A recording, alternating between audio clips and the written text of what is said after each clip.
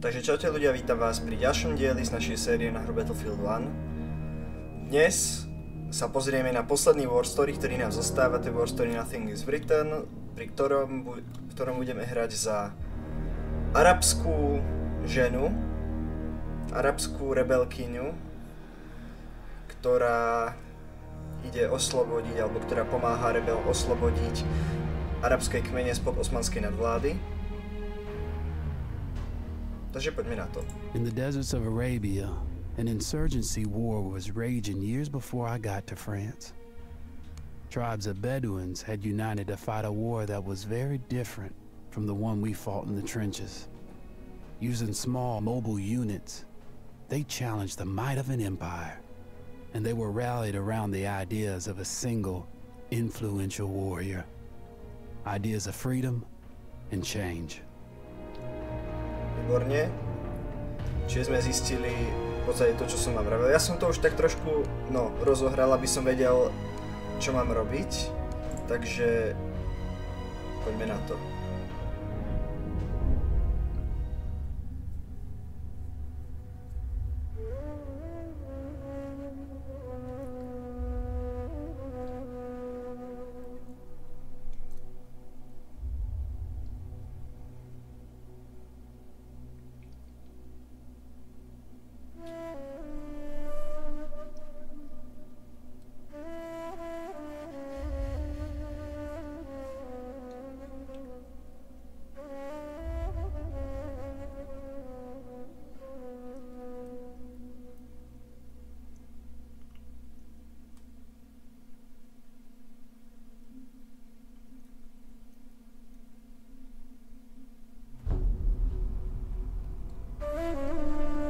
The Arabian Desert.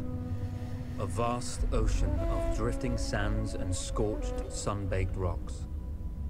Beneath these endless dunes, oil. The lifeblood of our new mechanical century. For more than 400 years, the Ottoman Empire has ruled these lands, controlling all that's to be found here. But the Ottomans do not rule unopposed. Small bands of Bedouin rebels have united to overthrow the empire. They strike without warning and then vanish into the desert. Fighting alongside them is a lone British officer whose exploits have earned him wide renown. The world has taken to calling this man Lawrence of Arabia. In the desert, you rely on good planning, but you also hope for a dash of luck. And luck was with us when we learned of a recently derailed Ottoman train carrying a most interesting piece of cargo. Áno, čiže aby sme A small patrol had joined the Ottomans who survived the crash.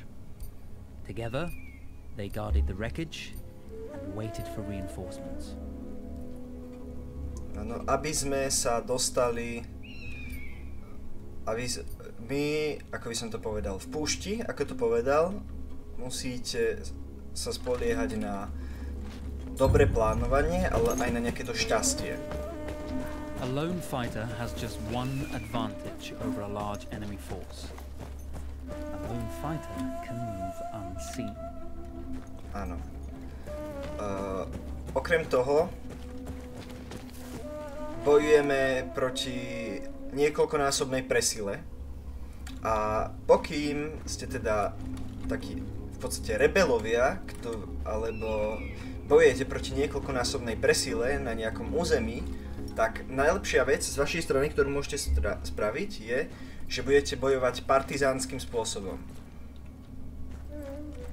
Čo je práve takéto typické záškodníctvo, že nastražíte pasce, budete prepadávať, pretože takým spôsobom nikdy nebudete nepriateľovi čeliť otvorene a budete mať oveľa menšie straty, ak si to teda správne naplánujete. Teraz sme, máme niekoľkonásobnú presilu, niekoľko na jed, niekoľko, dovolím si povedať, že viac ako 10 na jedného. Ale vzhľadom na to, že sme sami, tak sa vieme pozerať, či pozerať, pohybovať nepozorovanie. A Potom to vypustí. Niečo takéto. Tak. Jeho pušku nechcem, konia tiež nechcem, preto kavalériu neviem hrať, za kavalériu neviem hrať, neviem ju ovládať. Čiže si zoberieme, počka, dobre vidím, Levis. Áno.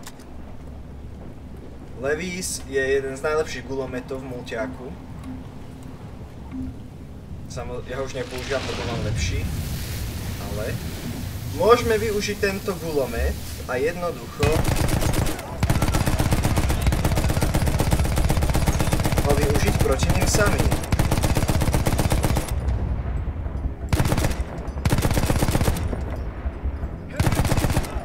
Tak, ešte niekto? Nie, to by mali byť všetci. Výborne. Neviem, koľko sme ich zabili, ale nám sa nič nestalo. A ako sme mohli počuť, tento stroj, alebo tento vlak, je to toto, nesie nejaké veľmi, za, nejaký veľmi zaujímavú vec v sebe. A ideme sa pozrieť, čo to je. Hop. Tak. No, Je to tu, ale nič iné tu asi nie je však. O, je tam je zbraň. Čo tu máme? O. Taká kniha, čo neprečítam v arabčine. A arabské číslice. Now!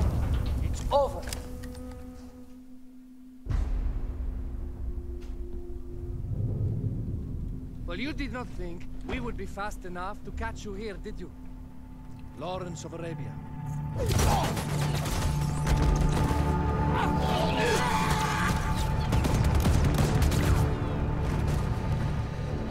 Actually, I was rather depending on it.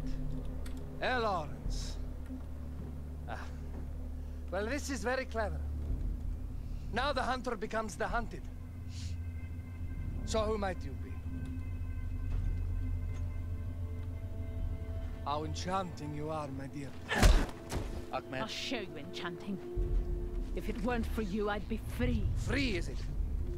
You'll be free when you're dead. And I'm happy to tell you, the Empire intends to grant you all this freedom very soon. Even now, an engine of destruction scours this desert, obliterating your allies, your families, your homes. Soon there will be nowhere to run.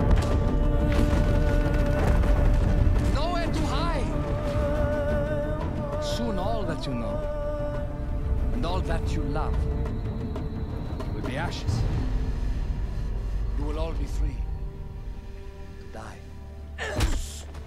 Oh, ah, you animal! Zara,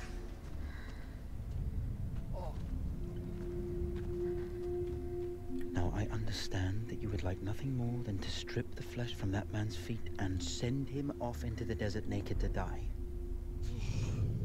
But think about it. You're right. I'm sorry. My friend here, she can be a little brusque. You're going to tell me how to lie to your train so we can lure it into a trap and destroy it. Impossible. To even begin to talk to that train, you would need an entire book of communication codes. Oh, like this one, you can never stop the progress of machines. One day, the whole world will take your lands and the precious black gold beneath its sands. We shall see, my friend.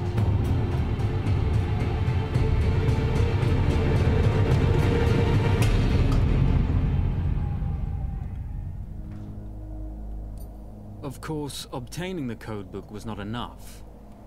To destroy this Iron Dragon, this Canavar, as the Ottomans had named it, we had to send it three encrypted messages telling it to stand down. There were Ottoman outposts scattered along the railroad tracks. The commanders there carried high priority message capsules. We had to use those to send our orders. Infiltrating the village wouldn't be easy. A full detachment of Ottoman soldiers had occupied it. The Ottomans had chosen an isolated location for their desert outpost. It seemed lightly defended.